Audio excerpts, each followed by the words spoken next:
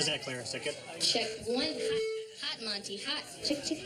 Chow. Chick, they chow. That's Chinese chicken. Chumbo bumba. So here we are again. We're doing another fantastic LA show. Lots of great comedians, hot comedians. You've seen them on uh, Premium Blend, 1999.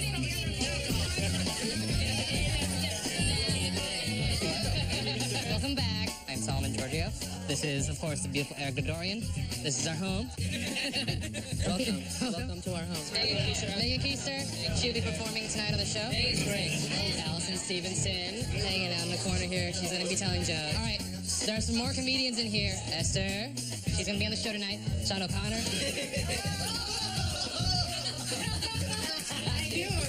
Jack Knight, he's gonna be up there telling his jokes. Ahmed Barucha will be on the show. And also on the show tonight. Yeah, yeah. Oh, so Crisp right there, dude. this is two Ethiopians on one TV show. That's never happened in the history of television, by the way. Yeah, you guys. It's never happened. So are you gonna do your accent or am I gonna do my accent? Because one of us has to do this. What would it sound like if your dads talked to one another? How gay is your son?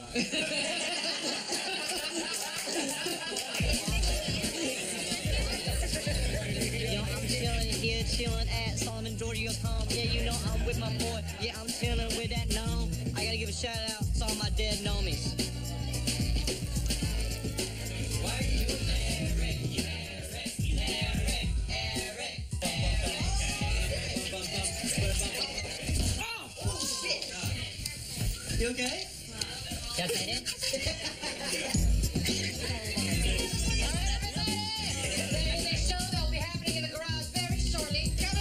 yourself. If you need refreshment, refresh. But I need butts and seats. Really quickly before I start, did anybody else go to Juilliard here? Just me. Just me. Thought so. My life is crazy. My life is weird. It's funny. It's weird.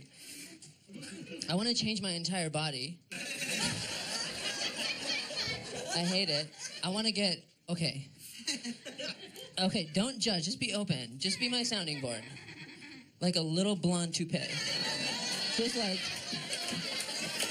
just like a little like blonde, just like right? Right? Right? Can I? What else? I don't have anything else. I just have right now I'm like balls deep in writing my memoirs. So it's just like No, I am. I am. And when you're ageless and timeless, how do you start? Where do you start? That's why it drives me crazy. I see on Twitter all the time people tweeting, "Oh, if I had a time machine, I'd do this, I'd do that." Honey, if I had a time machine, I'd put it on the corner, put it on Craigslist. What do I need a time machine for? My life is a time machine. Do you know what I mean? You know, I was really afraid that we were going to have to perform somewhere tonight where there weren't any rats, but we're good. I recently tricked a guy into having sex with me. Um, he was gay, and I told him I was Dave Grohl. We had fun. Really lonely. I just started to do this thing where I'll reset a password just to receive an email. My phone buzzes. I'm like, oh my god, who needs me? And then uh, now I go the next step and I make the security question, how are you? And the answer is just funny you should ask.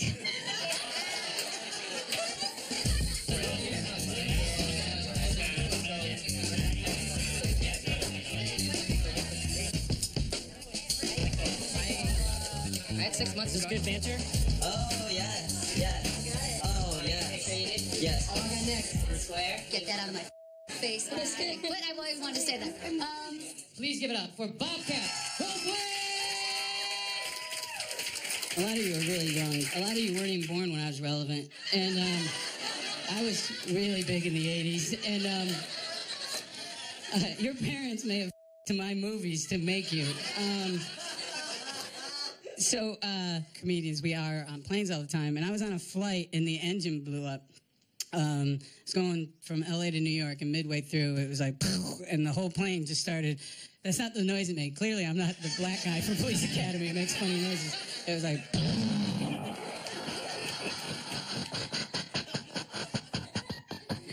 and uh, and then there was a rooster on the wing. The engine and the plane just started careening straight towards the earth, and it was terrifying. I found out later that the pilot was just trying to land the plane as quick as possible, but it was going so fast that it was like G-force test. Like people's beverages were floating in the air, and people were screaming. It was horrific. And I said, "Stay calm. See what the flight attendants are doing." That's how you survive something like this. And I look, and two flight attendants are looking out the window, and then they turn back, and they were they were sobbing crying flight attendants. Put that in your mind. That's truly the most terrifying thing I've ever seen in my life. We're here for your safety first. That they checked out. They were like holding each other's hands. I always thought you were professional, Karen. And a good portion of the other people on this flight was the United States Special Olympics team. That's who was on the flight. And uh, I, I know I can't I, I can't change it so you're more comfortable. It was. It was 45 men and women in red, white, and blue running suits with medals. So if it wasn't the Special Olympics team, it was a really big hip hop group with Down syndrome. And as the plane was careening towards the earth, the pilot got out. Hello, ladies and gentlemen. This is your pilot. There's no reason to be alarmed. When we land in Cleveland, the runway will be covered entirely in foam. At the very end of the runway will be a fire truck. And I thought, well, this is the end of my life, you know. And I, I thought about my daughter, and I thought about my friends, and then clear as a bell, a, voice in the back of the plane went, "Fire truck!" he was excited. He was going to see a fire truck, and I laughed, and no one else did. I looked around. I go, "You didn't hear fire truck?"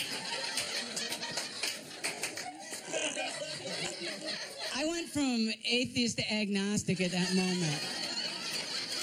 I was like, maybe there is some sort of higher deity in the universe. And I know, I know some of you may work with mentally challenged people or you may have them in your family, but if you don't think they say or do anything funny, you're denying that they're human beings, because that's the funniest thing I've ever heard another human being say.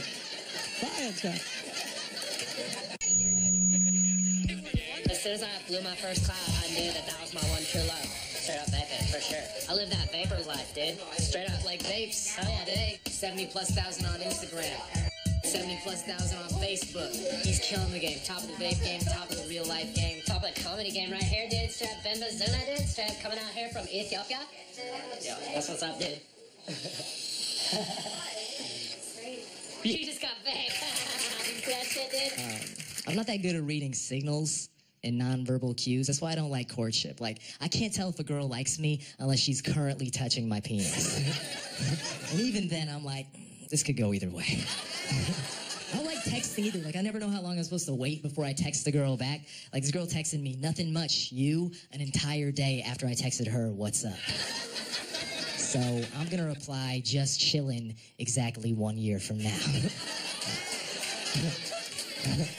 My goal is to make her feel 365 times as insecure as I did. Uh, a lot of people blaming ADD for kids not paying attention in school, right? But I feel like people forget that school sucks.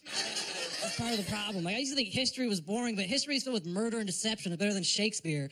But all I remember in school they just shoved the date down your throat. Just the date, the date, the date, the date. The date is the least interesting part of the story. I've never been telling someone a story, but I'm like, oh man. Got these two Italian supermodels back to my apartment. One thing led to another. What day was it, man? What day was it? What was the date? Who was president? What was the climate? When did this happen? Get to the details. Like, I used to think George Washington was boring, but he's murdered people. He went to war. He turned down being king of America. He's probably stabbed someone in the face with a knife at the end of a gun. Like, he killed people back in the day to be like, I'm sorry, I'll remember this forever. And all I remember school is a cherry tree story, which is not even real. They made it up. They made up a less interesting story about him and told that to everybody. hey, you know George Washington? Oh, that's the cherry tree guy, right? No, that's fake. He murdered people on Christmas. That's like in a thousand years from now. I'm like, you know, George W. Bush led this country to a war all based on a lie? What? I thought he just trampled his father's azalea patch. Scared to smoking from Eight seven. No, don't get me smoking. I want to be on the Disney Channel. Don't get this. I'm like an alcoholic. I know. I want to be on the Disney Channel. Don't film this. Yeah, I don't want to like a cool late night set with a suit, and I'm like, bitches get hoes and drink liquor. Her gang. Yeah, right. Has anyone here heard uh, that new Meghan Trainor song? It's called "Dear Future Husband." Um, I have a have a problem with that song. At one point, she's like, "I'll be sleeping on the left side of the bed. Open doors for me, and you might get some head."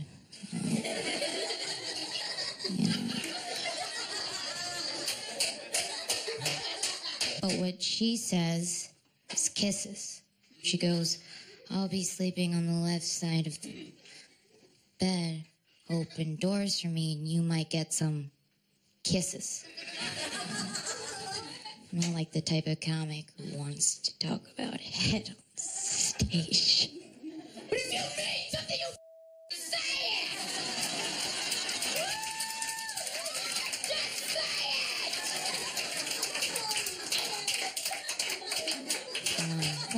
Of all of this is to say that one of my favorite songs of all time is uh, Magic Stick. It's by Little Kim featuring 50 Cent. And why I like this song is, is because 50 Cent comes in and he's like, I have the magic stick. And then Little Kim comes in and she's like, you know what? I have the magic clit. She just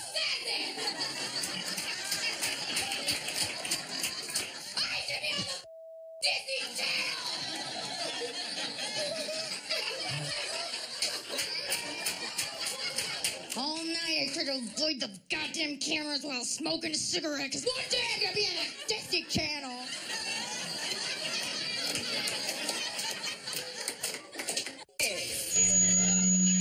What's up? Yes. I have breakfast on my head. Nice to meet you. Hi, Tyler Claire. Nice, to meet you. Hello? Ty- Hello? Lauren, Davis. LA is a different type of grind, man. I'm New York, so we do like three or four spots a night, and bringing that type of grind here is literally Grand Theft Auto 5. Where every show, like, yo, come on my show and come on my show. So that's two spots, but one's in East LA and the other one's in Santa Monica. Nigga, that's like a mission. That's a mission. It just pops up. Bing! By the time you drive there, you're like, what's funny? What's comedy? I uh, graduated college, and uh, college is the worst scam I ever felt for in my life. College is all about capitalism. They don't care about your education. Every professor trying to make profit off of you. Every professor, all right, you gotta get this book. It's five hundred dollars, and we're only concentrating on chapters two, four, and six. And I'm the author. What? I'm a student, not your biggest fan. Did I register for this class on Ticketmaster?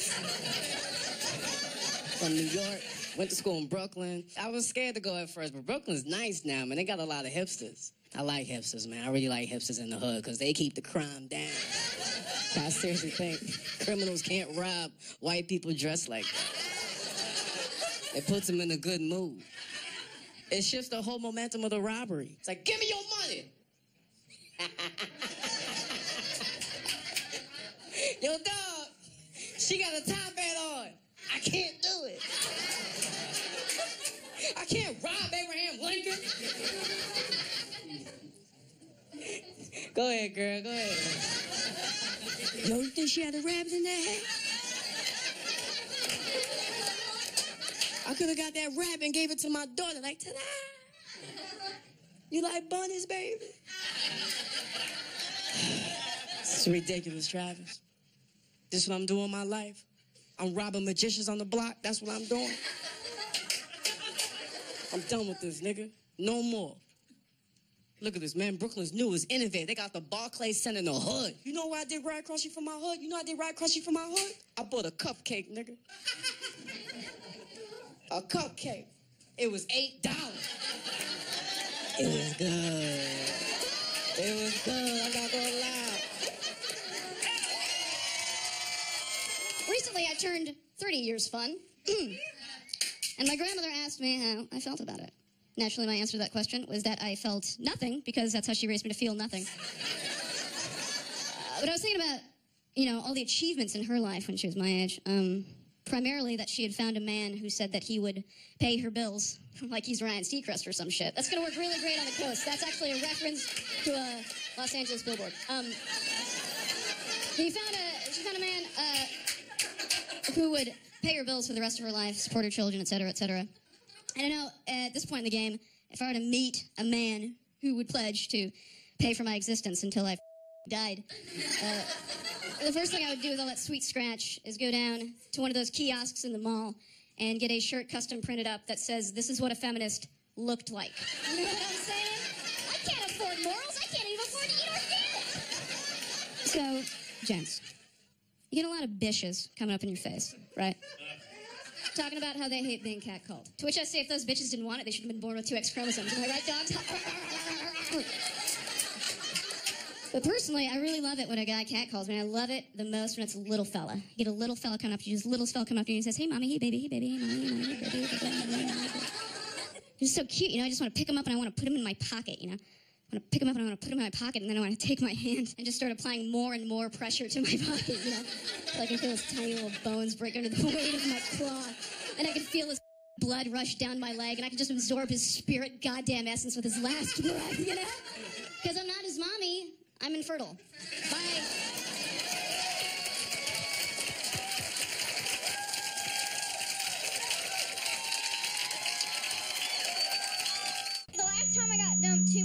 Like in person, awful. Like this guy, I guess he was trying to be nice or some shit, but he uh he was just like this is all he said. He said that I was too much woman. That's all he too much woman. and then he just left. Like, has anyone heard that? Have you been given that phrase ever? Too much woman? At first I was like, oh, okay, this guy thinks I have like four vaginas, like 30 fallopian tubes, estrogen seeping out of my pores 24 7. Which, uh, that might be true, actually. I don't know. I don't know how the female body works. That I just live here, you know. yeah. But then I went to I went to And uh, I typed in the phrase "too much woman." They were straight up. They were real as. Urban Dictionary was like, "You're fat. You have big thighs. No one's ever gonna love you." And uh, you know what? Hey, guess what? They're not wrong. I have big thighs. Secrets out. I'm not a thin woman and I have big thighs. Uh, hey, uh, here's the thing though. Real talk. Getting real with you. Uh, my thighs, favorite part of my body. Whoa, whoa, did you just say that? Yeah, that's right. I love my thighs. I love my big ass thighs. My thighs almost killed a man. How many of you can say that shit about your thighs, huh? My thighs literally almost killed a man. I was uh I was sitting on his face. You know? I'm a grown ass woman and I wanna come. And I was sitting on his face.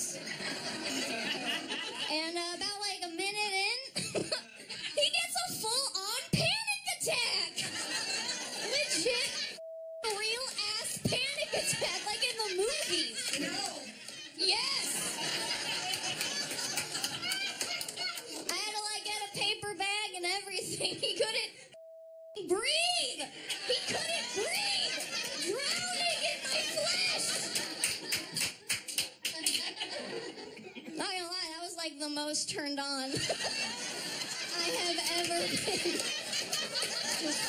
The wettest I have ever wetted.